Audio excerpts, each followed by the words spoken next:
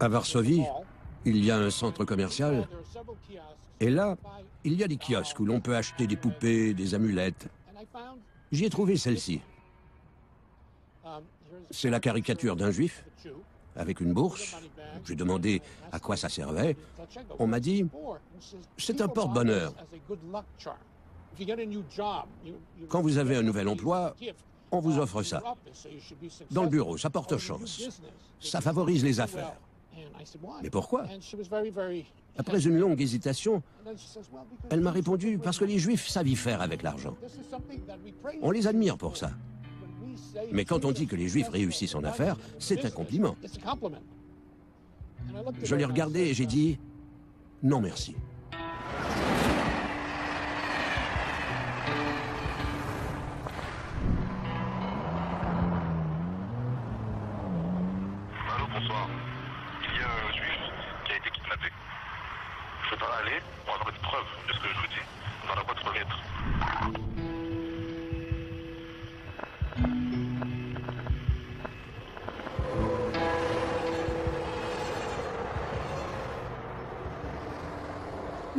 Près 8h30 ou 9h du matin, il faisait très très froid. On a reçu un appel d'une requérante euh, qui nous signalait euh, avoir vu euh, ce qui lui semblait être un corps. C'était un homme. Il était entièrement nu. Il avait des menottes aux mains. Il avait des baillons au niveau du cou. Il était brûlé sur une grande partie du corps. Il faisait euh, beaucoup de peine à voir.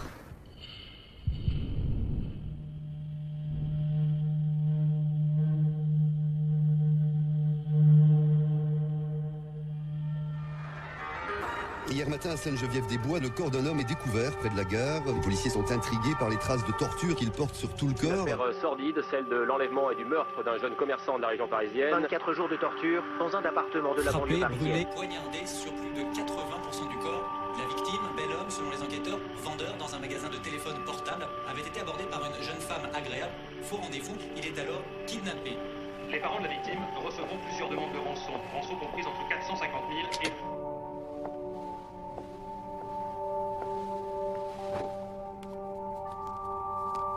Perdre un enfant dans les conditions où Ilan est parti, je pense que c'est quelque chose de d'inimaginable. Je crois que même dans les pires cauchemars ou dans les films les plus violents, je n'ai jamais vu quelque chose d'aussi terrible.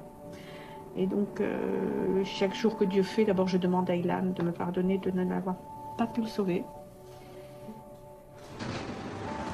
fermé en mémoire d'Ilan. Les commerçants du quartier n'ont pas eu le cœur à travailler sur le boulevard Voltaire, à Paris.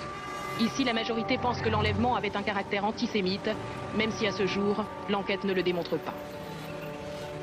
C'est un juif, ils ont de l'argent, on va lui soutirer de l'argent. Voilà. Hein Donne-moi ta caisse, il Voilà. n'a pas voulu la donner. Absolument. Ils n'avaient pas d'argent, la famille Halimi. Ils croyaient qu'il était riche. Ils croyaient qu'il était riche. Mais leur but, c'est de le tuer. Le tuer, oh, pas forcément. Hein. C'était son magasin, là où il travaillait. Il travaillait ici en face. Là, vous pas Ici.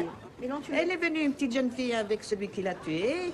Elle lui a donné rendez-vous. Et c'est là où ils l'ont assassiné. C'est catastrophique ce qu'on lui a fait. Ils l'ont jeté sur les rails, bâillonné euh, avec du scotch. Elle est morte. C'était un vendredi qu'ils l'ont attaqué. Sinon, s'il était religieux, il n'aurait pas été au magasin. Voilà. Il aurait été sauvé. C'est son destin. C'est son destin. Ah non, il n'y a pas de destin. Là, il n'y a pas de destin. Les gens disent que les juifs vont se saigner pour payer la rançon, pour, pour le, le sortir de ce- l'antisémitisme pur et C'est revenu. C'est en, en pleine évolution en ce moment que les Allemands. Je sais, les je sais, je sais. les Arabes et revenir à notre peuple. Tu veux qu'on nous guillotine en Non, sortant allez, guillotine. Il y en a plein qui demandent l'ALIA et qui s'en vont en Israël. Ils sont chez eux. The chief suspect in the torture and murder of a Jewish man in Paris is back in France after his extradition from Ivory Coast. The suspect, Youssef Fofana, now faces questioning by magistrates investigating the death of Ilan Halimi. French police accused Mr. Fofana's gang of trying to kidnap six other people, four of them Jewish. Because he said the Jewish community was rich. Ces complices présumés ont été arrêtés principalement dans cette cité de Bagneux. Ils ont entre 17 et 32 ans, la plupart sans emploi. Les policiers parlent de jeunes sans repère. Selon les premières auditions, le mobile semble avoir été le même, l'argent.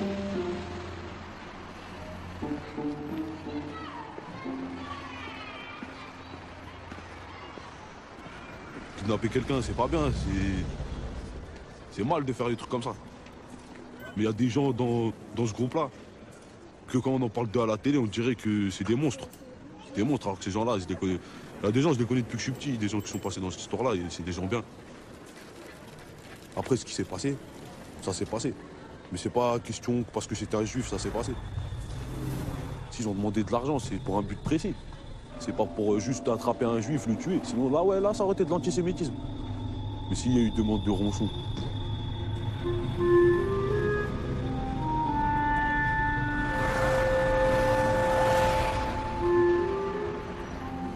Il est mort parce qu'il était juif. Il est mort parce qu'il était juif. Ça, c'est bien de le dire. Il sera vengé, il sera vengé. De tout temps, si on regarde l'histoire, de tout temps on a été persécutés. On est toujours là. C'est ça le principal. On est toujours là. Parce qu'on est le peuple élu. Voilà, on est le peuple élu. Voilà. Moi, je viens d'Israël. Ça a fait une grosse histoire là-bas. On a, on a été choqués. On a été choqués. Ah oui, aux informations à la télévision, si vous voulez, on a parlé de ça là-bas quand même. T'aurais pas été tenté, toi Tenté de quoi Mais de suivre la fille, non, parce que c'est la Ah, fille. suivre la fille. Il a suivi la fille, et c'est en suivant la fille où il y a eu une embuscade, il s'est fait prendre. Shabbat shalom. Non, Shabbat shalom.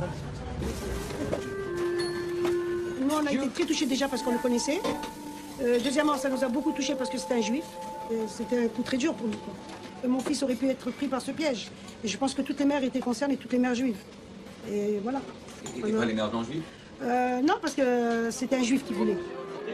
Ilan est-il mort parce que juif?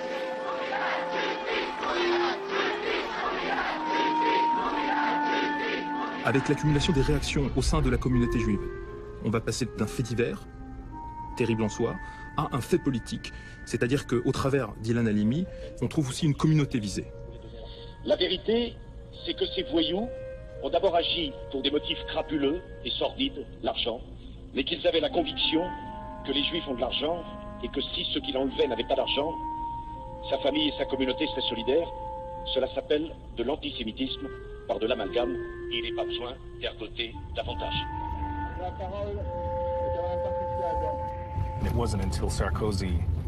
Ce n'est qu'au moment où Nicolas Sarkozy a déclaré qu'Alimi avait été pris pour cible car il était juif que nous sommes intervenus. Nous sommes allés à Bagneux, dans la cité où Alimi avait été séquestré, et le climat était vraiment tendu. J'ai quand même réussi à parler à un jeune arabe. La chose la plus troublante qu'il m'ait dite, c'est que ses voisins et lui-même savaient que quelqu'un était retenu dans cette cave. Mais il ignorait que c'était un juif et qu'il subissait des tortures. Il n'était peut-être pas au courant des mauvais traitements, mais que c'était un juif, j'en doute. Car je sais de mes reportages passés qu'il y a un puissant antisémitisme chez les jeunes de ce milieu. La piste antisémite se confirme dans l'enquête sur le meurtre d'Ilan, c'est ce qu'a dit Nicolas Sarkozy aux représentants de la communauté juive. Jacques Chirac lui a promis aux parents de la victime de faire toute la lumière. L'opinion publique a été conditionnée par à la fois les médias, les hommes politiques et certains groupes de pression. Ils ont organisé une forme de lavage de cerveau. Pourquoi on veut faire de l'affaire Fofana un symbole en quelque sorte? Mais parce qu'on veut dire à toute la France entière que, mais voyez, les Noirs qui se prétendent victimes de l'esclavage, de la traite transatlantique, ils sont antisémites. C'est tout. Conditionner les gens pour soutenir et faire admettre l'idée que le crime d'Ilan Halimi est un crime antisémite. Moi je dis non, c'est un crime crapuleux, purement mercantile.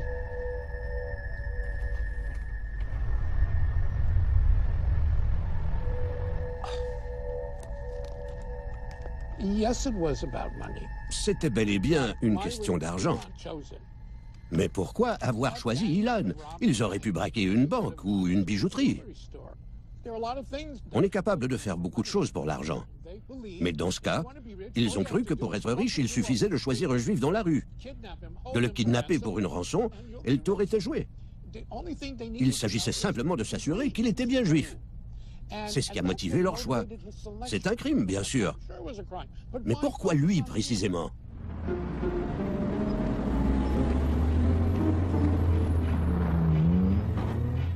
Youssouf Fofana s'est euh, promené plusieurs jours sur ce boulevard-là où il y a de nombreux euh, magasins tenus par des gens d'origine juive parce qu'il avait décidé de s'en prendre à des gens juifs. Fofana, euh, il n'a pas envie de finir comme ses parents à nettoyer les chiottes, dit-il.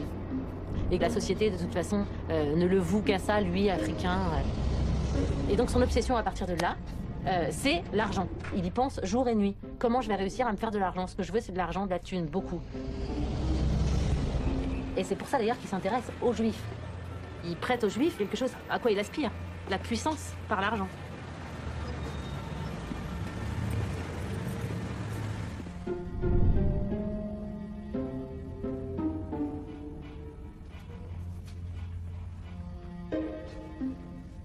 L'histoire crée souvent de la mémoire qui a un contenu mythique.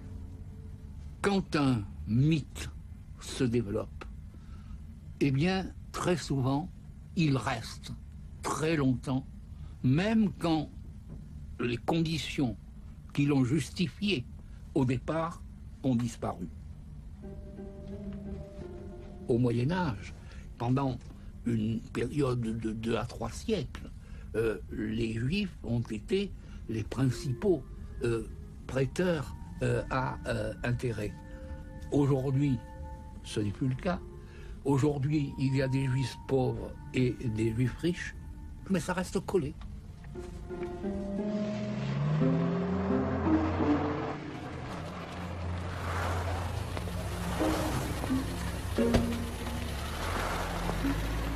C'est Youssouf qui voulait que je drague un garçon pour prendre son numéro de téléphone. Il m'a amené dans un quartier juif. Il m'a montré trois ou quatre magasins et il m'a demandé de choisir. Je suis rentrée dans le premier.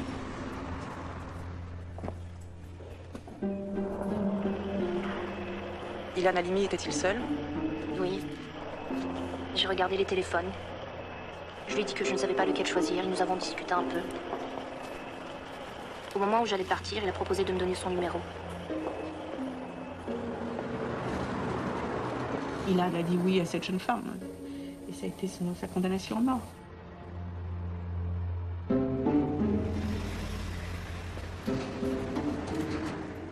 Je m'appelle Moni.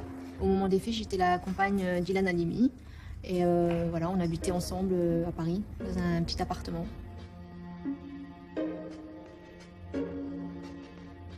On nous a arrêtés sur euh, notre, notre trajectoire, quoi. Voilà.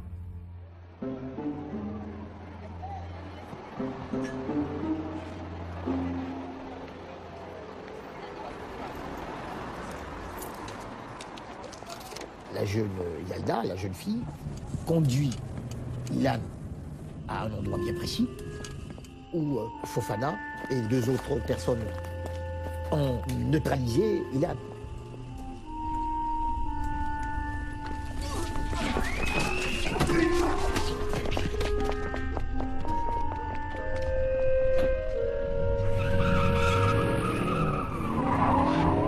d'Ilan Halimi ne réagit plus à partir de 0h44.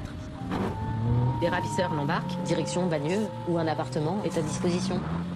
Fofana s'est débrouillé pour avoir les clés d'un appartement disponible ou séquestrer le gars.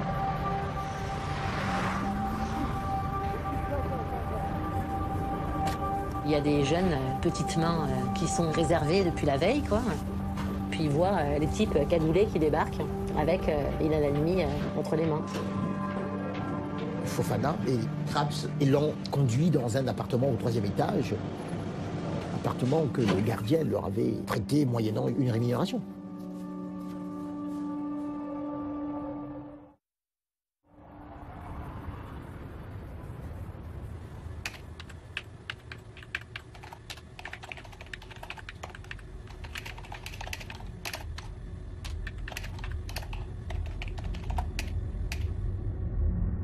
Cette nuit-là, j'ai très mal dormi. J'étais très inquiète en fait. Je suis c'est vraiment bizarre quoi. Je suis descendue, je suis allée regarder euh, sa voiture. Rien, pas de voiture. Euh, je suis allée frapper chez sa mère, mais il n'y avait personne. Et en fait, euh, un peu plus tard, en début de soirée, il y a quelqu'un qui m'appelle sur mon portable, qui me donnait un identifiant avec un password. Je me suis connectée et là, j'avais un mail. Je l'ouvre. Franchement, je si j'étais pas assise, je, crois que je serais tombée en fait. Ilan tenait les clés euh, de l'appartement euh, au creux de ses mains.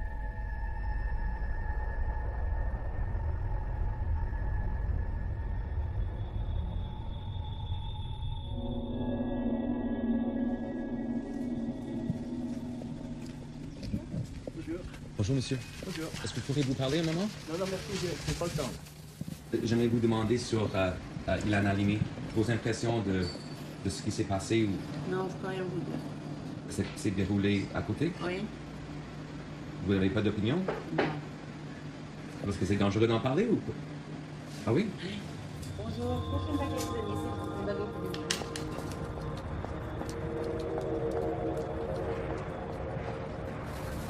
Bonjour. Bonjour. Est-ce que je peux vous demander une question sur les événements qui se sont passés ici? Ah, l'histoire du jeune homme, là Oui. Ben oui, mais il avait qu'à pas... Pourquoi il est venu la suivre pour venir atterrir jusqu'ici, là-bas hein? Parce que c'était, il était Et le gardien, il était, il était... Le gardien, lui, il leur loue l'appartement. Ils le savent, ce qu'ils étaient, ces gosses-là. Et tous les gens qui habitent dans cet immeuble, ils l'ont pas vu, ils l'ont pas entendu, hein? Ben, Ils ont eu peur de parler, c'est tout.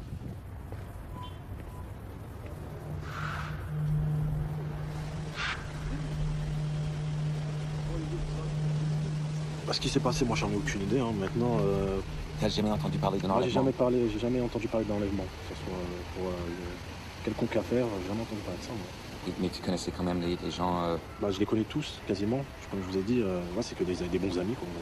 Et le fait que Ilan Halimi était juif, ça a joué quel rôle? Bah, moi j'en ai aucune idée personnellement, mais c'est vrai que, comme je vous dis, les juifs, c'est qu'on on les voit à peu près partout. Mais bon, maintenant c'est rien de méchant, c'est pas que. Euh, voilà, l'antisémitisme, non, c'est pas du tout, vraiment pas. Maintenant, c'est juste un dire, c'est-à-dire que voilà, euh, on dit que les juifs font de l'argent et c'est tout. C'est même pas que- question de religion ou d'origine ou je ne sais quoi.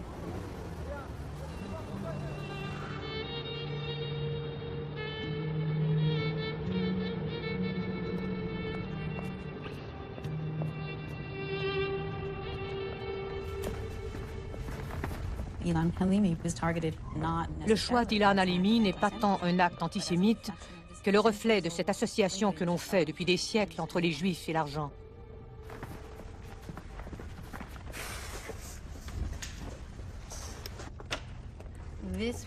Ce manuscrit est une Bible moralisée.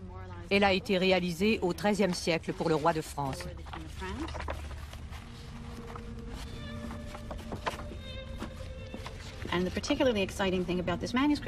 L'intérêt de ce manuscrit est qu'il contient des illustrations assez uniques de la vie quotidienne à Paris au Moyen Âge.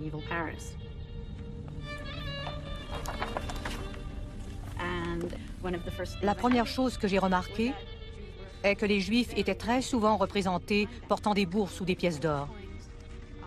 C'est le trait commun de la plupart des Juifs dans ce genre de manuscrits. Cette miniature représente le Christ condamnant des pécheurs et la personne qui figure au premier plan est un homme qui porte un sac d'argent autour du cou, ainsi qu'une autre bourse dans la main. Le chapeau pointu et la barbe indiquent que c'est un juif. Ces signes représentatifs sont apparus au Moyen Âge. Ma première question est pourquoi? Pourquoi ces associations permanentes entre les juifs et l'argent? Le contexte historique nous éclaire un peu. Depuis le Nouveau Testament, une longue tradition associe les Juifs à l'avidité. Également, de nombreuses preuves remontant au XIIe siècle, en France, portent à croire que les Juifs pratiquaient le prêt à intérêt. Et c'est tout à fait justifié. justified. By the opening of the 12th Au début du XIIe siècle, on assiste à une véritable explosion économique. Les villes se peuplent, gagner de l'argent devient à la mode. Et bien sûr, les Juifs sont fortement associés à cela. Les Juifs étaient surtout des marchands et des experts en change. Ils étaient beaucoup plus urbanisés que les chrétiens. Et tous ces commerçants qui réalisaient des profits avaient le désir de faire fructifier cet argent en prêtant à intérêt. Les Juifs ont pu jouer ce rôle grâce à leur statut de marchand. Mais les chrétiens prêtaient eux aussi, ce qui affolait les auteurs du manuscrit, car les chrétiens participaient de plus en plus à ce commerce florissant. Aucun texte biblique ne justifiait ce soudain essor économique. En qualifiant cette activité de juive, les auteurs voulaient empêcher les chrétiens de prendre part à ce fait typiquement juif. Évidemment, le message sous-jacent était que tout chrétien pratiquant le prêt usuraire faisait de lui un juif.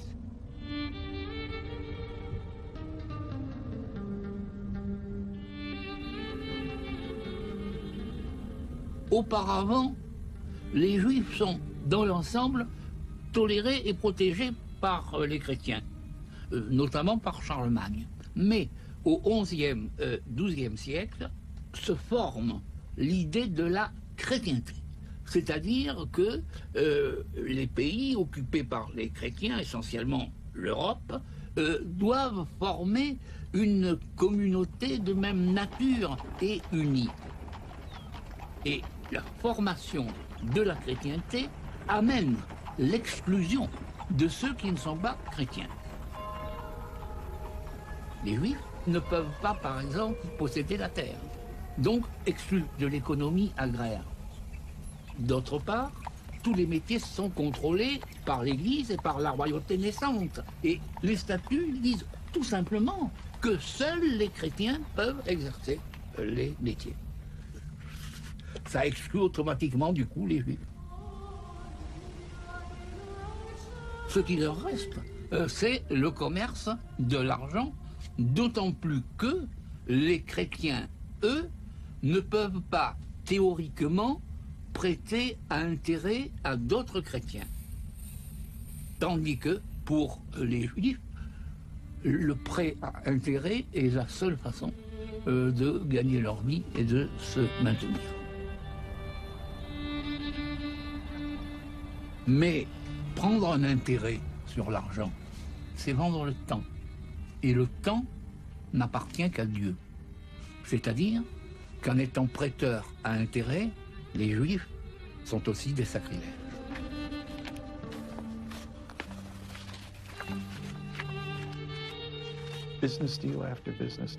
Transaction après transaction impliquant des juifs. Les juifs avaient grand besoin de l'aide des gouvernements. Sans leur protection physique et leur soutien économique, les juifs n'auraient pas prospéré dans le domaine du prêt.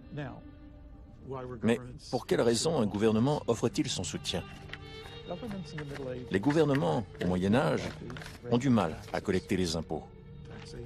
La notion de taxation a mis beaucoup de temps à être tolérée. Mais les Juifs offrent un accès direct à des fonds imposables.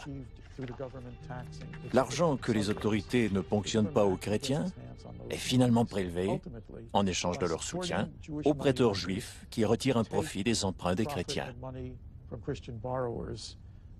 Et une bonne partie de cet argent est reversée dans les caisses du roi. En fait, les gouvernements sont de connivence avec les juifs pour taxer les chrétiens.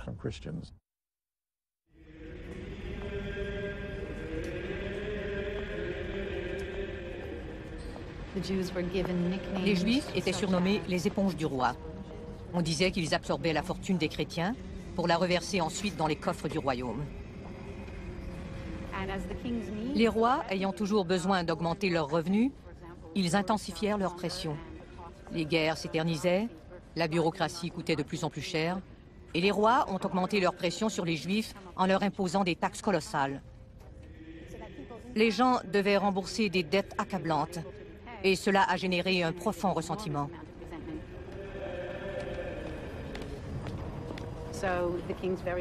Les relations étroites des rois avec les Juifs devinrent de plus en plus difficiles à maintenir. Il s'agit de Philippe le Bel, roi de France. C'est le roi qui a définitivement banni les Juifs de France en 1306. Son grand-père, Louis VIII, avait déjà commencé à limiter son soutien auprès des prêteurs juifs. Il a donc renoncé à cette source de revenus dans le but d'obtenir la reconnaissance de ses sujets, qui préféraient que les Juifs soient chassés.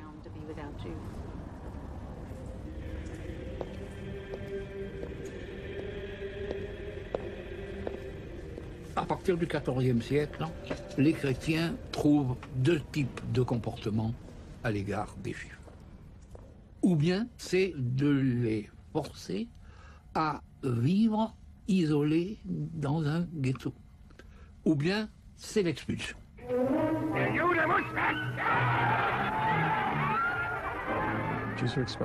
Les Juifs furent chassés d'Angleterre, ils furent chassés de France, ils furent chassés d'Espagne et du Portugal. Les Juifs emportaient leurs effets avec eux. Mais leurs biens immobiliers étaient saisis par le gouvernement qui les chassait. C'est une liste des biens saisis par le gouvernement au point d'expulsion. On n'évoque jamais la notion de profit, mais c'est un facteur déterminant dans l'expulsion des Juifs.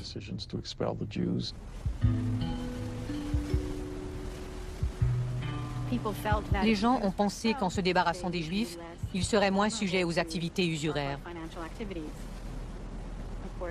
Leurs espoirs ont été vains, car à la place sont venus des usuriers chrétiens. En l'absence de concurrence juive, les taux d'intérêt ont grimpé. L'Europe n'est jamais devenue cette économie morale et égalitaire, et ce fut le début de la société capitaliste.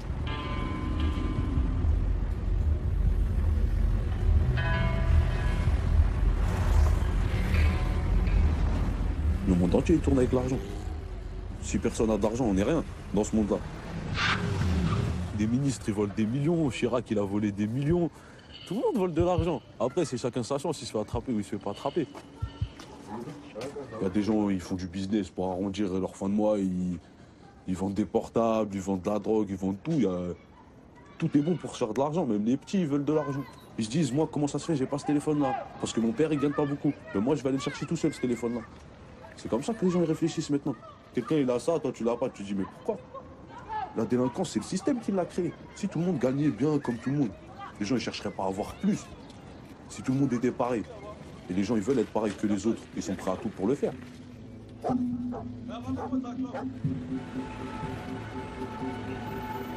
Ton fils, tu veux le revoir en vie ou pas? Il faut 100 000 euros aujourd'hui. T'as compris ou pas?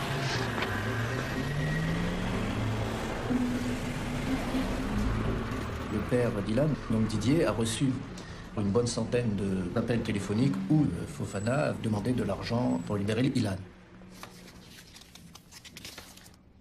Le gouvernement français avait pris une position très ferme vis-à-vis des malfaiteurs en faisant comprendre qu'il était hors de question de payer la rançon. Les officiels en France n'ont pas intérêt à ce qu'on sache qu'on va payer la rançon, parce que si vous voulez, demain, vous allez avoir une explosion des enlèvements en France, si vous faites ça. Mais en réalité, on paye. En réalité, on paye. Mais on ne le dit jamais. C'est ça la, technique française.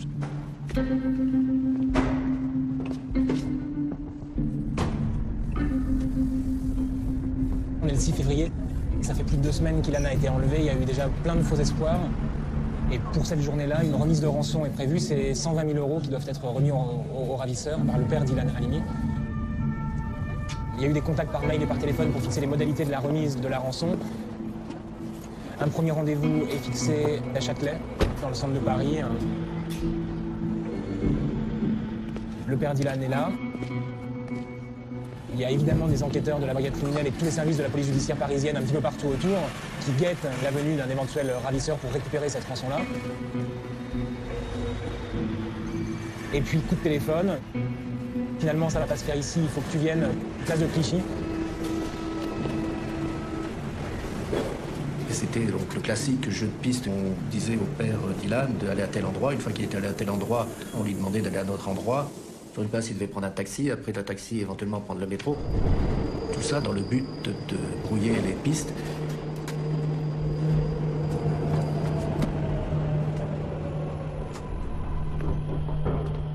Il se rend place de Clichy, et de nouveau la même chose, attente, attente, attente. Et puis coup de téléphone, il faut que tu prennes le train, il faut que tu ailles à Bruxelles, où un intermédiaire récupérera la valise, et dès qu'on aura la valise, on libérera Ilan et là, ça fait déjà plusieurs heures que les négociations ont démarré et les conversations sont de plus en plus dures. Les policiers nous conseillent de ne pas forcément aller à Bruxelles parce que ça commence à être très compliqué.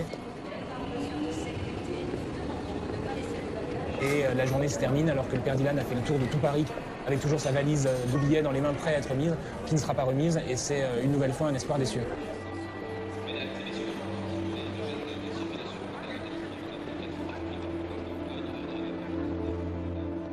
Youssouf Fofana, il est nul. Il demande de l'argent, une grosse somme avec des conditions. un message plus tard, il demande encore une autre somme, sous d'autres conditions. Il fixe un rendez-vous, il n'est pas à ce rendez-vous. En fait, il n'arrive pas du tout à aller chercher l'argent. il, il avait peur, au fond. Il se disait qu'il y aura des policiers et on va m'arrêter. Et c'est là qu'il va demander maintenant qu'on lui envoie de l'argent par Western Union en Afrique. Et il est allé en Côte d'Ivoire pour attendre la rançon. Pour les policiers, si on rentrait dans cette logique-là, on aurait versé l'argent et on n'arrêterait personne. Et donc on a refusé ce type de versement par Western Union qui était euh, complètement indétectable et qui fait que l'argent se serait perdu dans la nature.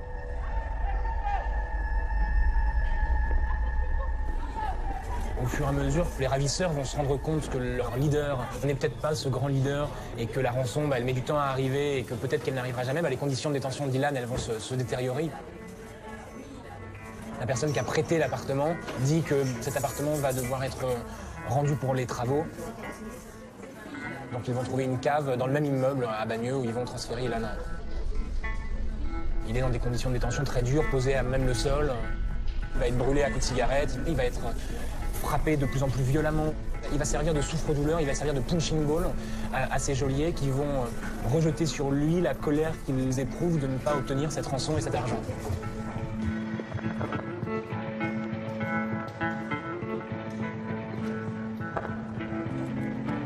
Si jamais un de, tous ceux qui étaient là, il y en avait 26, aurait pu seulement prendre un téléphone en anonyme et dire voilà, il y a quelque chose qui se passe, ils auraient sauvé Ilan. Ils ne l'ont pas fait.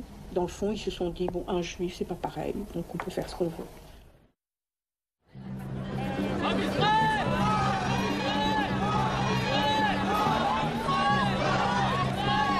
Yusuf Fofana and 26 others go on trial today for the murder of a young Jewish man that shocked France. À l'intérieur et à l'extérieur du palais de justice, il y a un petit peu de tension. Euh, des dizaines de jeunes issus de mouvances radicales juives et plusieurs dizaines de gendarmes qui sont au pied de la salle d'audience.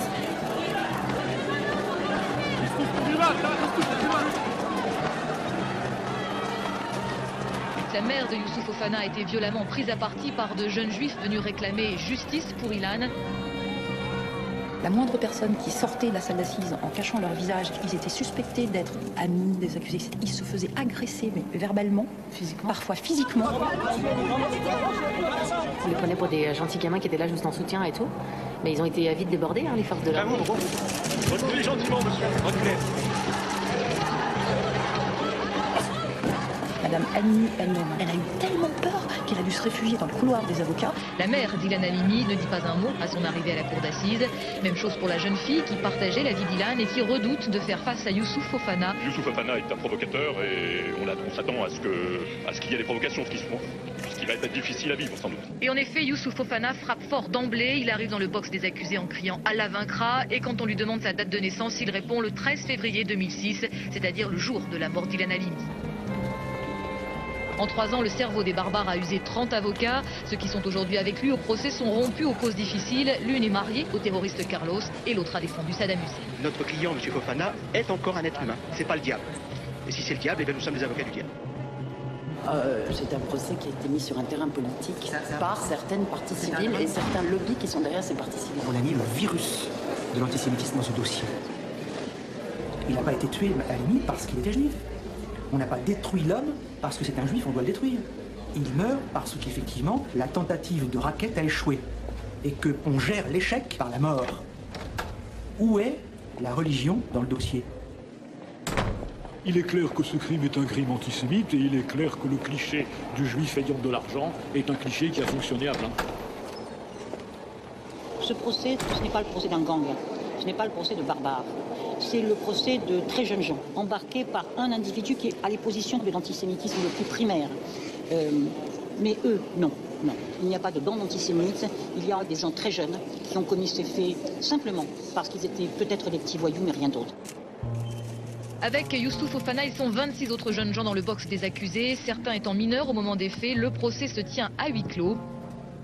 J'espère que euh, j'arriverai à obtenir des réponses à, à mes questions. Est-ce qu'ils ont pu lui parler?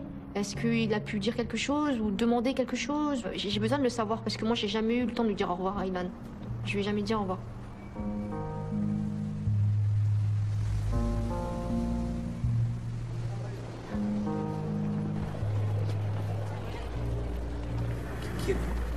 Je suis une amie de Lapa, donc euh, Yelda. C'est pas une personne mauvaise, c'est pas l'ange de la mort comme tout le monde l'appelle. Faut pas filmer mon visage. Pourquoi? Parce que le problème, c'est qu'il y a certaines personnes qui sont de communauté juive, qui mélangent tout, et qui pensent que tous les musulmans ont tué Ilan. C'est pas la religion musulmane qui a tué Ilan. C'est un être humain et c'est tout. Mais il y a date, elle, elle savait que Fofana visait des juifs? Elle savait qu'ils visaient les juifs parce que tout le monde sait dans tous les quartiers que les juifs ont de l'argent, comme on sait que les saoudiens ont de l'argent, comme on sait que certaines populations sont plus riches que d'autres, quoi. Alors le fait que finalement Ilan c'est un vendeur de téléphone, Ils se sont trompés. Ils se sont trompés, voilà, ça dépend, ça dépend des juifs, ça dépend...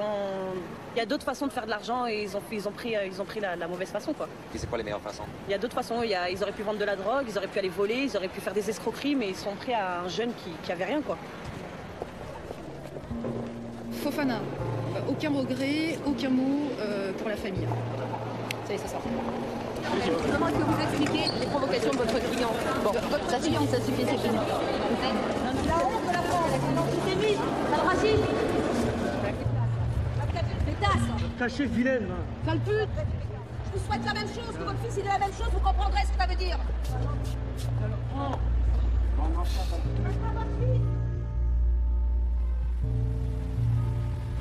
Youssouf Fofana, en réalité, c'est pas tellement mon type d'affaire. Alors, Fofana, sa stratégie, ça a été de placer l'affaire sur un terrain entre musulmans et juifs. Et donc, il en a rajouté. Il en a rajouté, c'est un provocateur.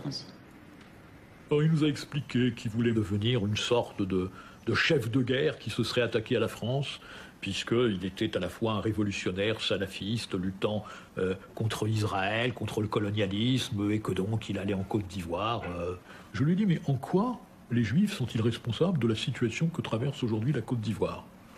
Euh, Alors il m'a dit, non, mais ils sont coupables de tout. C'est le mal. Le Juif est l'incarnation du mal. À chaque fois qu'on lui parlait de son crime, il répondait Oui, mais il y a l'esclavage, on a fait pareil, en Afrique c'est pire. Il avait une sorte de, de philosophie, c'est un grand mot politique, mal digéré, un mélange de bêtises et, et je dirais d'extrémisme. À un moment donné de l'audience, Fofana a nous expliqué que son souhait c'était qu'un juif ne puisse plus marcher libre dans la rue et qu'il sente à chaque moment qu'il était possible qu'il se fasse enlever parce que juif. Ensuite, il nous explique que deux ou trois cadavres juifs, c'est rien du tout pour lui. Euh, qu'il est fier de son crime, qu'il est fier de ce qu'il a fait. Et il part en fait dans des élucubrations comme ça antisémites. À ce moment-là, l'avocat général Philippe Bilger va s'adresser à Youssouf Fofana et va lui dire Ne croyez-vous pas que vous avez rendu l'antisémitisme odieux? Et Francis Spinner s'est levé et a dit à Philippe Bilger Monsieur l'avocat général, est-ce qu'il existe un antisémitisme qui ne soit pas odieux? Philippe Bilger, avocat général près de la Cour d'assises de Paris, considérait qu'il y avait un antisémitisme qui pouvait ne pas être odieux. Pourquoi ne pas venir dire les choses comme elles sont? Pourquoi ne pas venir dire que oui, c'est grave d'aller kidnapper quelqu'un parce qu'il est juif et parce qu'on pense qu'il a de l'argent et que même s'il en a pas, c'est sa communauté qui pourra payer? C'est quelque chose d'abject. hein. Pourquoi est-ce qu'on le dénoncerait pas? Et pourquoi est-ce qu'on devrait le faire avec modération ou avec discrétion? Il n'y a aucune raison d'être modéré, il n'y a aucune raison d'être discret dans ce dossier-là. Non, au contraire. On dénonce, on le dénonce haut et fort et on insiste. Ilan Halimi a été enlevé parce que juif il est mort parce que juif il a subi des sévices parce que juif. Point.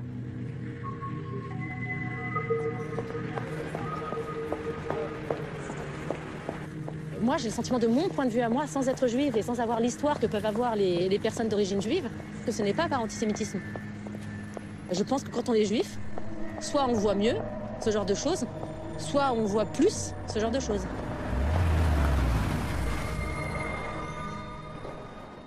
Je fais un blog euh, tous les jours sur le procès du gang des barbares. Alors. Hmm, J'ai des commentaires sur mon blog. Faut que je les regarde parce que tu vois, s'il y a des trucs antisémites, faut les enlever. Vous pouvez retenir votre ton compatissant, même si le récit biographique de ces criminels sauvages a pu vous émouvoir à un moment ou à un autre, chère Elsa. J'ai peur de vous le dire maintenant.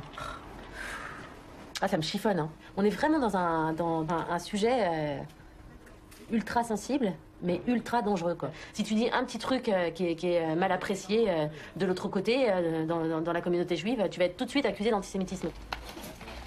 Et c'est un peu compliqué, là. hein. L'antisémitisme du Youssouf Fofana n'est pas d'un doute aujourd'hui. Et les autres, dans le box, je ne crois pas qu'ils soient mus par une pensée antisémite. Je pense qu'ils ont été plus motivés par l'argent euh, que par l'antisémitisme, en fait. Il y en a un, par exemple, qui a accepté euh, d'aider Youssouf Fofana euh, avec euh, l'idée qu'il allait recevoir un peu d'argent et que ainsi il allait pouvoir soit partir en vacances, soit s'acheter un scooter. Donc quand on voit que c'est Ilan Halimi en face et sa vie qui est passée à la trappe, c'est vrai que l'argent a une grande importance dans cette affaire. Sont des gens qui ont quand même l'habitude de voir le fric venir vite et facilement. On vend 10 barrettes de shit, euh, on a l'argent tout de suite. Euh, on attaque euh, une petite épicerie avec un revolver, on a l'argent de la caisse tout de suite. Là, ils sont dans une affaire beaucoup plus compliquée. Il a la limite, il n'a pas son portefeuille avec lui. C'est pas à son portefeuille qu'ils en veulent. C'est au portefeuille entre de la communauté juive parisienne.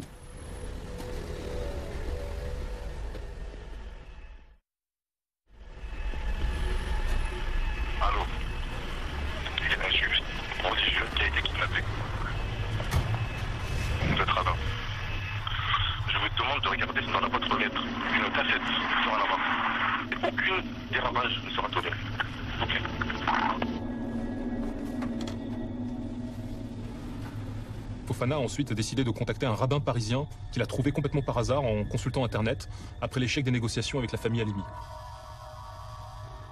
Il voulait passer par un rabbin, euh, n'importe lequel, en s'imaginant qu'il y aurait une espèce de solidarité magique au sein de la communauté qui permettrait d'obtenir une rançon.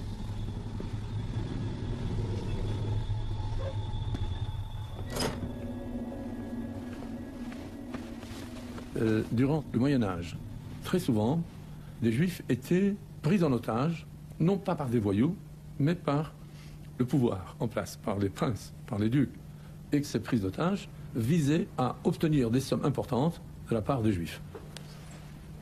Comme cela se répétait fréquemment, les communautés juives s'étaient organisées pour avoir des réserves pour racheter les otages. En hébreu, on parle de pidion chevouyim. Le cas le plus marquant de l'histoire, c'est celui du rabbin de Rothenburg, pris en otage par euh, l'empereur de, l'Allemagne.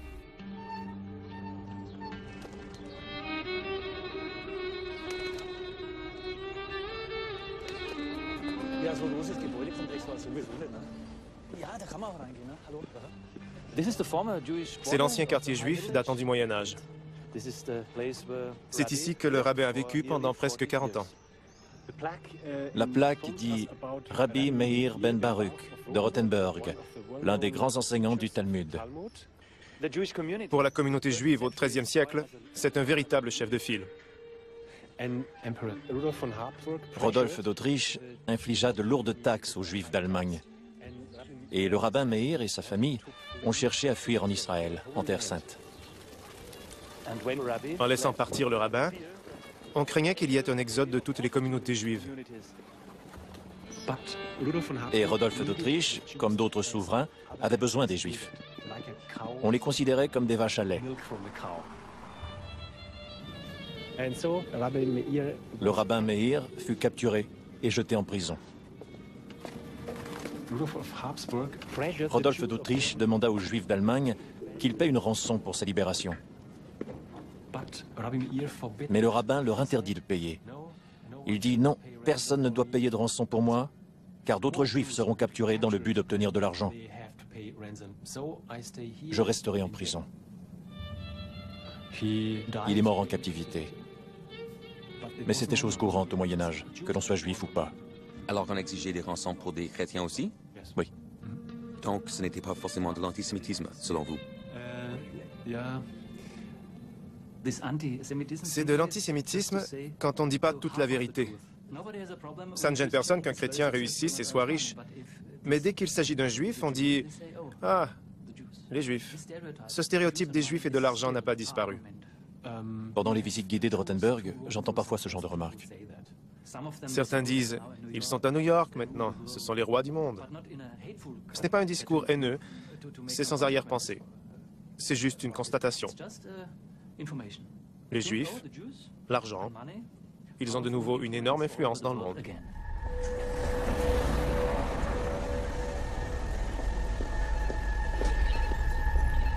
La plupart des banquiers, hein, c'est des juifs. La plupart qui ont des bijouteries, c'est des juifs. La plupart qui ont des changes, c'est des juifs. La plupart qui, qui tient l'échange cash, or là, c'est des juifs. Partez à Paris, il n'y a que des juifs qui ont des magasins. Ils sont comme ça, ils travaillent en famille, ils sont malins. Mais vous dites. Les juifs, ils veulent se faire montrer que c'est des victimes. Ouais, moi ci, moi ça, moi ci, moi ça, mais c'est eux les blindés. Mais c'est faux, la preuve, il avait il avait pas du tout d'argent, il était, il était comme vous. Sa mère, elle est pas du tout blindée, comment vous pouvez dire ça? Sa mère, elle est secrétaire, il travaillait dès l'âge de 17 ans pour ramener de l'argent à sa mère. Vous voyez bien donc que ce que vous dites Et ben donc vous êtes pareil que les juifs Non. Bah si.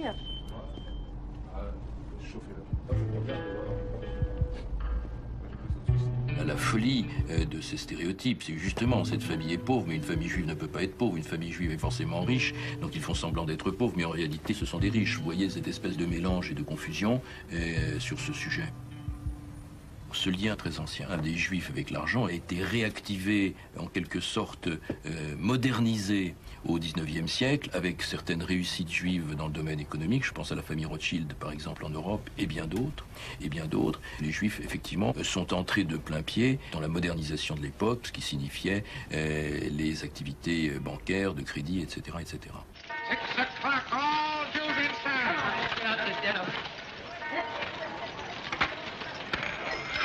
Mama, the tax collector. Oh, oh. Papa, the tax collector. He's down the street. Go. The tax collector, boys. Open up, you. Who is it, Nathan? Alan Rothschild. Why, it's my good friend, the tax collector. Bring out your account book. Certainly, sir. Here it is. Never have I known such a bad month. No. What do you take me for? Rothschild, you're doing more business than any Jew in Jew Street. You're going to pay 20,000 ah. gulden. 20,000? Oh. Why, accounts of the big merchants in the city doesn't pay as much as that. That's another matter. He's outside the ghetto. Oh. He's not a Jew. Quand arrive le monde capitaliste, le nombre euh, de euh, banquiers euh, juifs est faible. La majorité, ce sont des chrétiens. Mais, comme depuis le Moyen Âge, il a été établi un lien entre les juifs et l'argent, si par hasard il y a des banquiers juifs qui réussissent, ils sont vilipendés, condamnés, détestés, alors que leurs voisins banquiers chrétiens sont acceptés.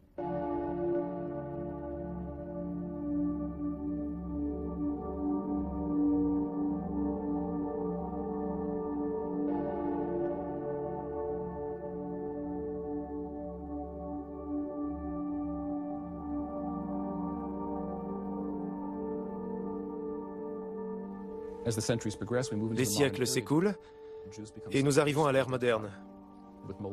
Les Juifs sont de plus en plus associés aux activités malveillantes. Mais cela ne s'appuie pas sur des faits réels. La plupart des Juifs à cette époque sont pauvres et ne prêtent pas d'argent. Il y a une très faible minorité de Juifs aisés et une majorité écrasante de pauvres. Ce qui différencie les Juifs des chrétiens n'est pas que les Juifs prêtent et les autres non. Ça va bien au-delà.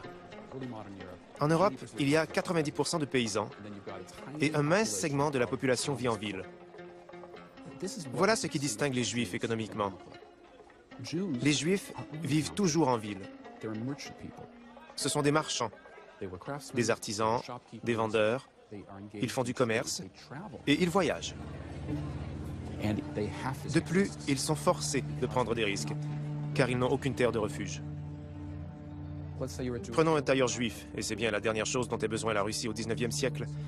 Eh bien, il y a de bonnes chances qu'il soit instruit et prêt, mentalement, à émigrer. Quand ça ne va pas, il va ailleurs.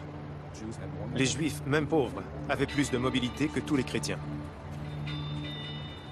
C'est cela qui fonde la vie économique des juifs au début de l'ère moderne. Ils sont toujours en partance. Beaucoup émigrent en Amérique du Nord, où grâce à leur flexibilité et leurs habitudes citadines, ils réussissent très bien sur le plan économique.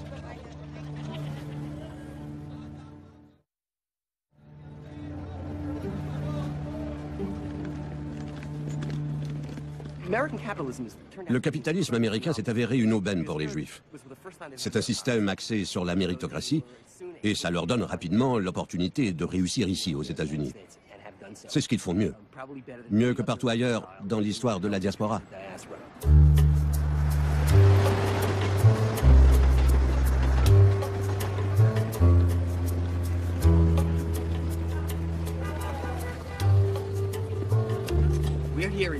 C'est l'une des plus grandes communautés assidiques aux États-Unis. Ma famille est arrivée ici il y a 55 ans. Mon grand-père fut le premier rabbin hassidique de Brooklyn. S'enrichir est considéré comme une vertu ici. La pauvreté n'est pas une valeur comme pour les chrétiens. Avoir de l'argent est bien vu. On est estimé pour cela. À condition de demeurer dans la communauté et de partager. Sur le plan des affaires, ils se tiennent à l'écart, mais ce sont des gens raffinés. Beaucoup travaillent dans l'immobilier ou dans le commerce des diamants.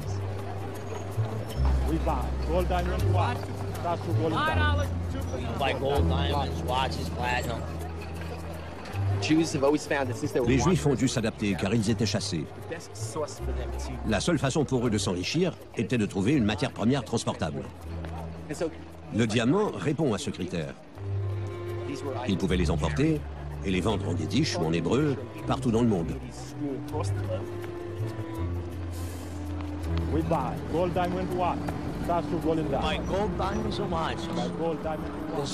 Les juifs assidiques sont bien connus dans le quartier. Entre 80 et 90% des diamants de tout le pays se retrouvent sur la 47e rue. Ils contrôlent le marché.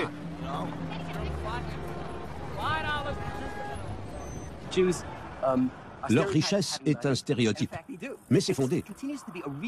C'est d'ailleurs un sujet qui alimente les débats au sein de la communauté. Les Juifs devraient-ils se sentir libres de dire ⁇ j'ai de l'argent, je conduis une Jaguar, je vis dans une belle maison avec piscine ⁇ Un autre Juif répondrait que c'est une erreur. Étaler sa richesse, c'est stupide. De nos jours, les gens sont envieux. Les Juifs seront toujours accusés de s'être enrichis illégitimement, donc il vaut mieux rester discret et ne pas s'exhiber.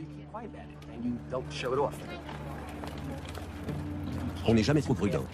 Nous sommes des Américains, mais des Juifs américains. Outwardly, they fit right in with their hosts. They look almost like genuine Americans.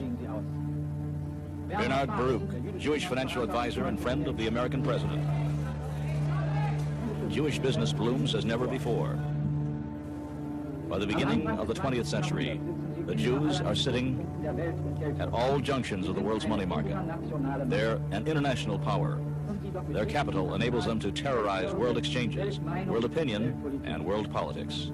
Not through honest work, but through usury, swindling, and fraud.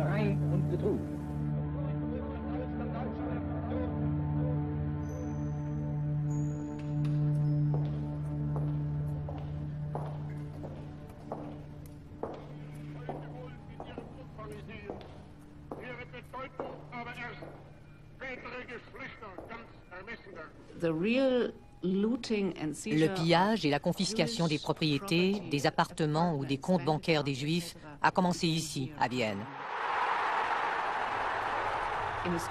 Et ce, de façon très structurée, très organisée. 70 000 appartements ont été saisis. Tous les locataires et propriétaires juifs furent expulsés.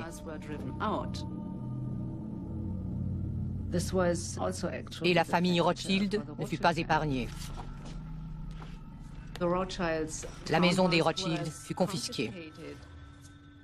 Louis fut arrêté à l'aéroport. On entama les négociations entre les Rothschild et le Reich au sujet de leurs biens. Ce n'est qu'après que tous les actifs des Rothschild aient été transférés au Reich que Louis fut libéré de prison.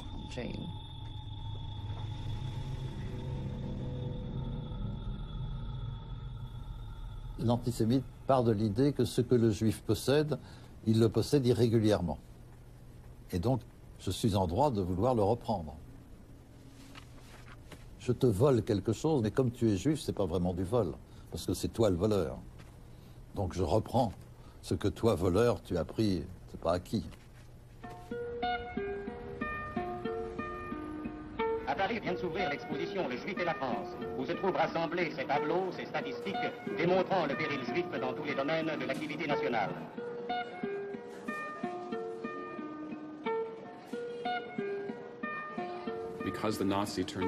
Les nazis ont tellement diabolisé les juifs en les associant à l'argent qu'après la Seconde Guerre mondiale, il est devenu impossible de parler des Juifs et du capitalisme de la même façon.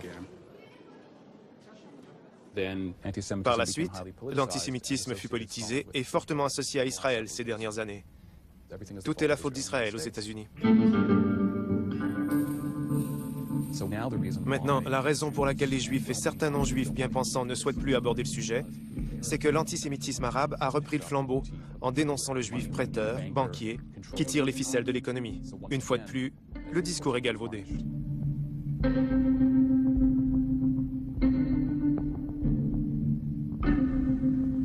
Euh, L'affaire Ilan Halimi, elle n'intervient pas dans n'importe quel contexte. C'est le fruit d'un contexte euh, qui est particulièrement euh, difficile depuis les années 2000, depuis l'intifada euh, en Israël.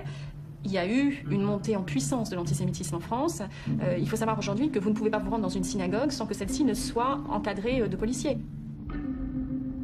Ça fait euh, 25 ans que j'écris euh, sur les quartiers. Ça fait 25 ans euh, que j'écoute ce que disent ces jeunes. Chaque fois qu'il y avait des crises au Proche-Orient, à chaque fois qu'il y avait des crises en Israël, à chaque fois qu'il y avait la première guerre d'Irak, deuxième guerre d'Irak, à chaque fois, je suis allé dans ces quartiers, je suis allé écouter ces jeunes, je suis allé discuter avec eux. J'ai vu s'installer et s'incruster dans, leur, euh, cerveau cette espèce de, substrat euh, antisémite. Sans se structurer, ce ne sont pas des gens qui théorisent.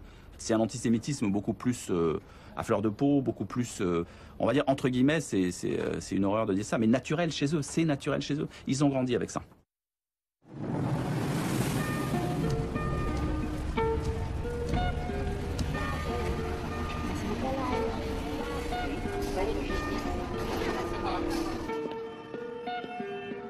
L'attente se poursuit dans les couloirs du palais de justice pour les peines qui pourraient être prononcées contre les lieutenants présumés de Youssouf Ofana. Puis on attend aussi la peine qui sera prononcée contre Yalda, cette jeune fille qui avait attiré Ilan Halimi dans un véritable guet-apens. Donc le verdict est attendu dans la soirée ici au palais de justice. On nous parle des alentours de 21h.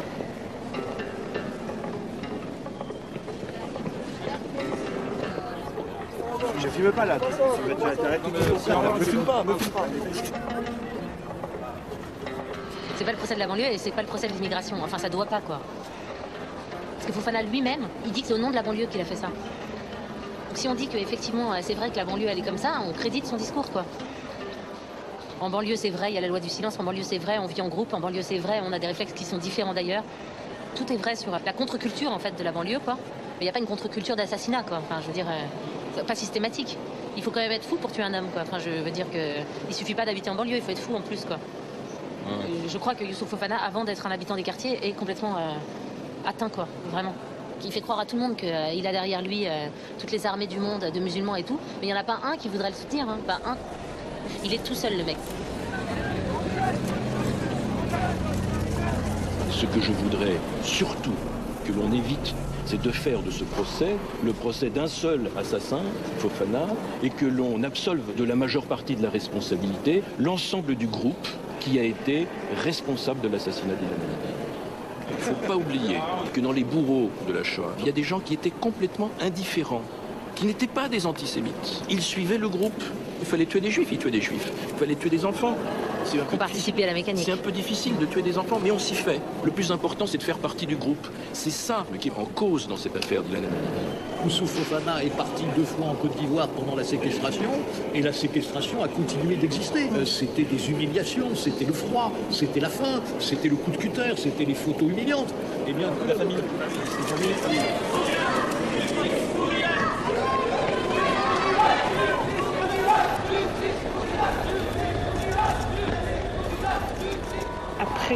Mon témoignage, c'est vrai qu'ils m'ont demandé quasiment tous euh, des, excuses, mais ce qui compte dans la vie, ce sont les actes et non pas les paroles. Ce qu'ils avaient fait subir à Ilan, même à un animal, on ne peut pas le faire subir. Ils l'ont fait. Je ne connais pas la haine, mais il faut qu'ils soient sanctionnés.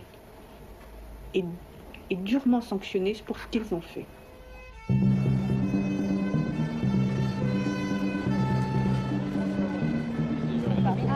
Un verdict rendu dans le calme et sans surprise, eh bien, la Cour et les jurés ont condamné Youssouf Ofana à la peine la plus lourde, la perpétuité avec 22 ans de sûreté. Mais mis à part Youssouf Ofana, en fait, les peines prononcées sont toujours un peu plus clémentes que les peines qui avaient été demandées lors du réquisitoire.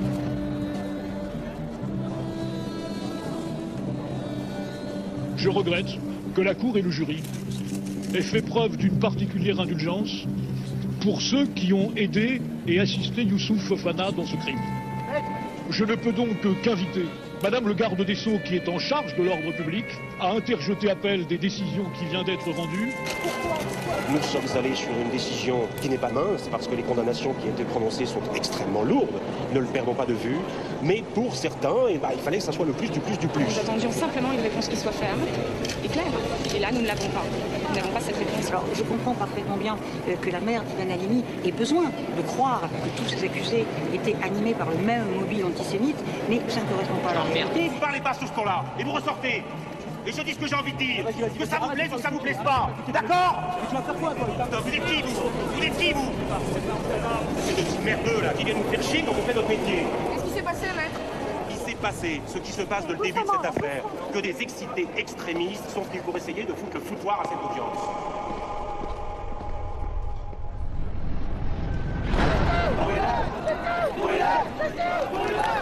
simplement la communauté juive, mais la communauté nationale est écœurée par ce qui s'est passé? Ah, les peines, c'est scandaleux. C'est des colonies de vacances qu'ils ont là. C'est une rigolade ce procès. C'est c'est dingue. Heureusement qu'ils sont là, les petits jeunes. Torturé un gosse de 23 ans. hein, ils l'ont torturé pendant plus de 3 semaines. Ils n'ont pas à sortir. Ils doivent condamner pour la prison ferme. Ils sont tous complices. Je suis désolé. Il faut perpétuité. Il va sortir à 50 ans, il pourra le refaire. Il ne faut pas croire que parce qu'on est une minorité toute petite dans le monde, on va porter tous les malheurs. On ne tue pas un juif. La Shoah, elle est passée déjà. Nous, on sera là toujours jusqu'à la mort pour veiller à que justice soit faite. Pour clore la polémique naissante, la garde des Sceaux Michel Allumari a ce matin annoncé un nouveau procès et précisé les conditions de cet appel. J'ai demandé au procureur général de faire appel des condamnations inférieures aux réquisitions de l'avocat général.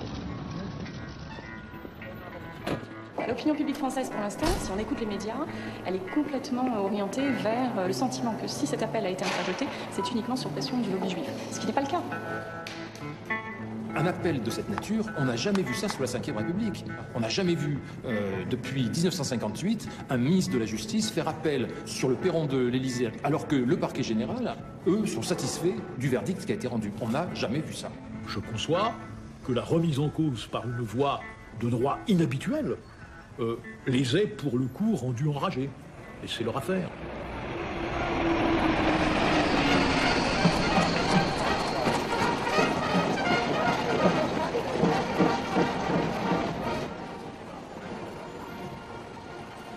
Quand je vois l'influence politique d'un avocat, de certains groupes religieux, etc., etc., je me dis, dans quelle démocratie vivons-nous? Je suis très inquiet. La société française est tellement culpabilisée de ce qui s'est passé en 1940, euh, 45, enfin pendant la Seconde Guerre mondiale, que c'est devenu ultra sensible. Une sensibilité extrême. On a- on a toujours peur de ne pas en faire assez. Voilà, pour lutter contre, contre l'antisémitisme, et dès qu'effectivement il y a une affaire dramatique comme celle d'Ilan Halimi, cette mauvaise conscience, cette culpabilité rejaillit.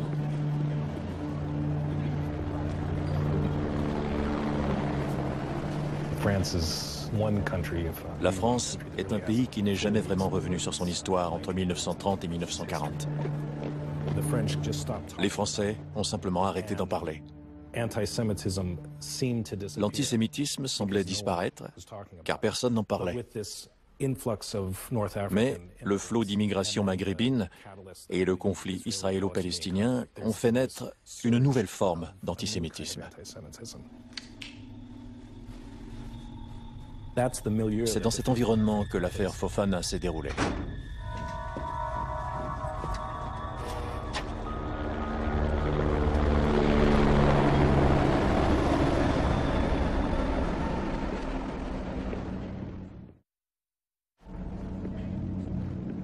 En France, si on touche à un Français ou un Juif, on va en parler longtemps.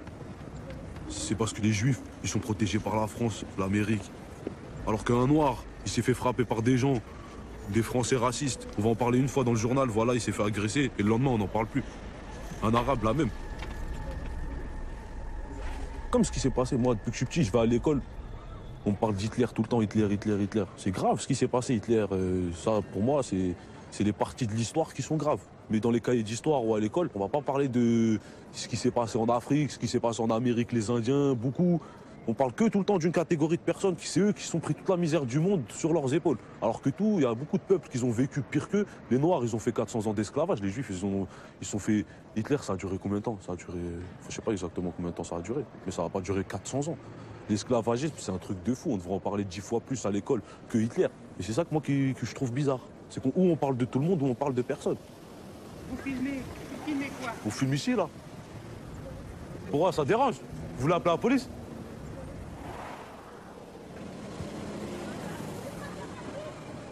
La mère de Fofana, devant le juge, elle tient à dire euh, on n'est pas des racistes. J'ai travaillé pendant 15 ans pour des juifs. Comment je peux être raciste envers mon patron Mon médecin, mon avocat sont juifs? Maintenant, je vois un psychiatre parce que je vais pas bien. Que la communauté juive nous pardonne, vraiment pardon. La vie est très dure pour moi en ce moment.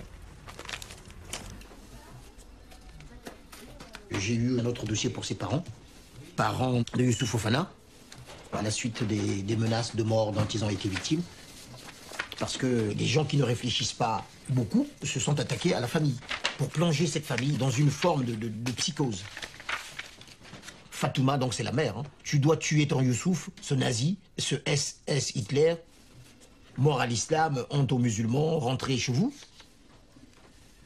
Terroriste, raciste, poubelle, enculé, à mort les négros. Voilà. Vous êtes indigne de vivre dans ce pays civilisé qui vous a si charitablement accueilli. Vous êtes pire que des sauvages, car le monstre que vous avez enfanté n'a jamais existé, même dans les pires cauchemars. L'heure de venger Ilan Halimi est arrivée. Nous n'oublierons jamais.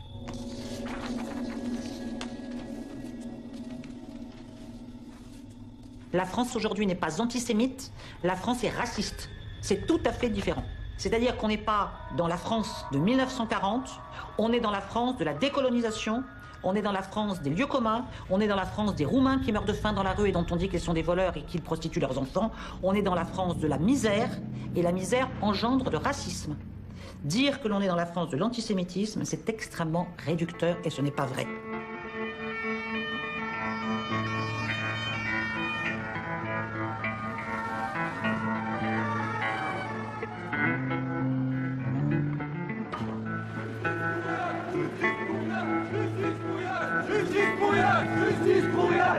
Fofana n'étant pas là, il est certain que des accusés vont se retrouver en première ligne et je conçois que ce soit pour eux une situation plus désagréable que la première fois. Justice pour Ivan Justice pour Ivan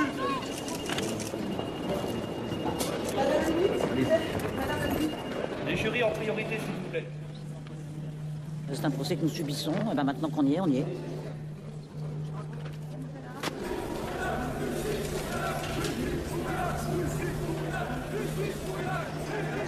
êtes là aujourd'hui Excusez-moi. On est venu soutenir la famille de Ilan Halimi, on est venu le faire dignement, on est euh, dans des périodes troubles. La communauté juive est très inquiète et euh, les jeunes sionistes français et parisiens qui veulent affirmer leur identité juive, ils sont là aujourd'hui. La Ligue de défense juive porte bien son nom, la Ligue de défense juive. Ça commence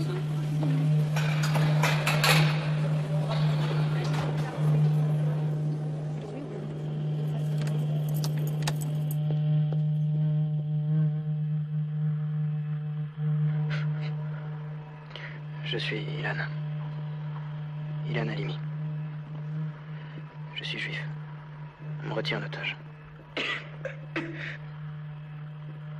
Me laissez pas, s'il vous plaît.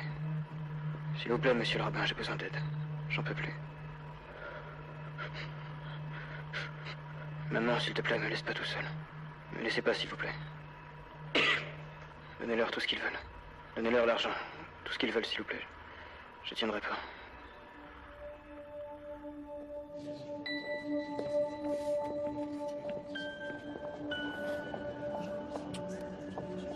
Alors on a entendu Ilan Halimi, ça on l'a entendu, euh, et ça c'est absolument bouleversant parce qu'on sent qu'il est désespéré, il pleure. Euh, C'était un moment euh, très très pénible. Ça, ça a fait remonter des choses insupportables pour elle.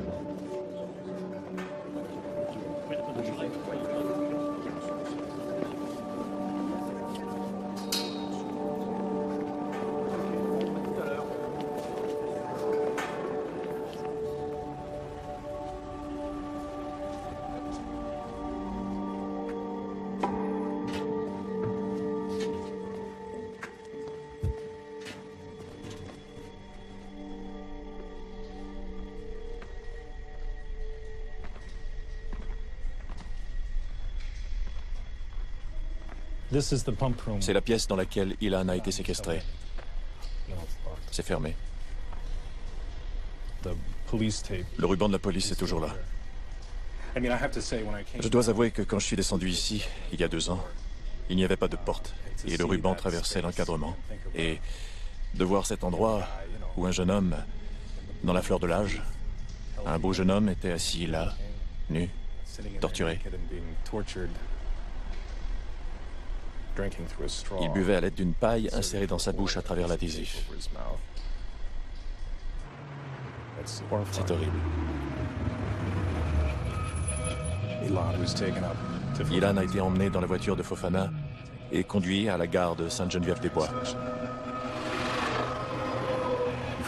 Fofana l'a sorti de la voiture et l'a poignardé à la gorge, quatre fois.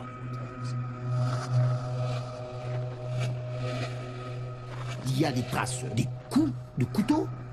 Il y a des traces de brûlures. On a tenté de lui arracher le cou.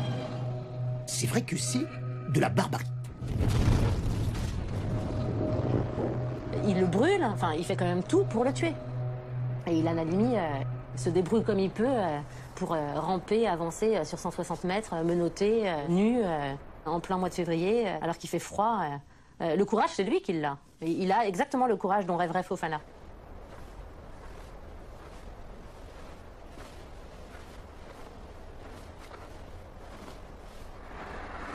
Nous avons pensé qu'il était décédé, mais euh, on a vu qu'il bougeait encore. Quelques petits mouvements. Euh, il essayait, je pense, de communiquer. Malheureusement, c'était surtout des gémissements. On lui a dit qu'on faisait partie de la police. On lui a dit qu'on allait tout faire pour le sauver.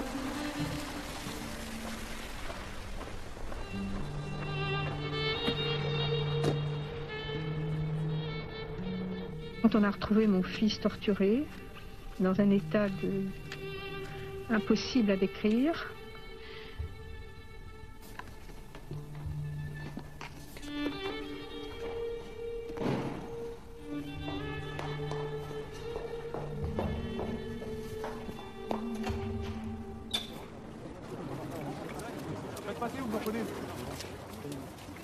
Ruth, la maman d'Ilan, nous a demandé à ce que le rassemblement se finisse avant Shabbat surtout. Qu'on puisse rentrer pour Shabbat à la mémoire d'Ilan et pour respecter la famille. Amen.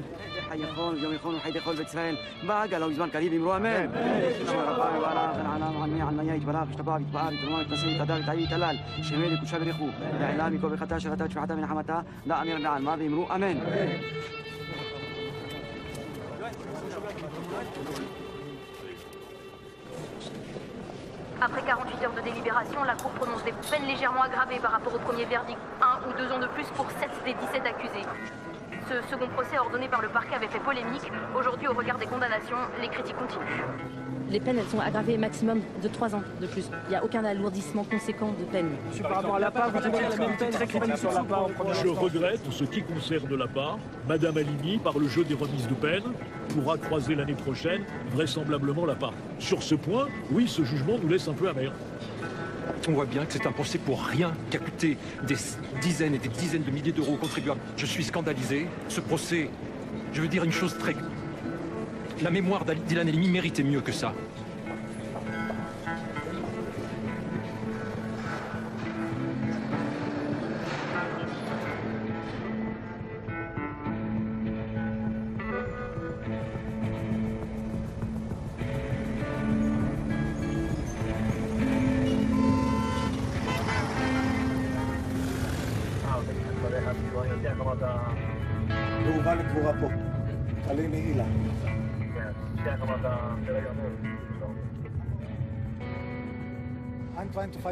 Je cherche la tombe d'Ilan Halimi.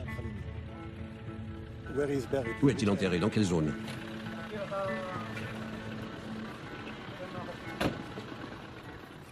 On le suit?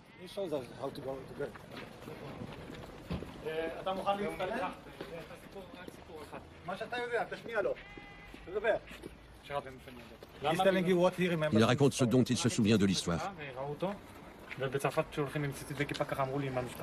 ראו אותו, ובצרפת כשהולכים עם ציצית וכיפה ככה אמרו לי מהמשפחה. אז אה, הגויים ממש אנטישמים שם, יש שם ערבים שאנטישמים, פשוט הם ראו שהוא עם ציצית וכיפה, תפסו אותו, גררו אותו ורצחו אותו, זה ה... זה. Il dit qu'on l'a tué car il était juif. Il était habillé comme un orthodoxe avec le tzitzit et la kippa. Est-ce qu'il sait que ce n'était pas un juif orthodoxe Il ne portait pas l'habit orthodoxe, mais c'en était un. Il savait qu'il était juif. תודה רבה, תודה לך.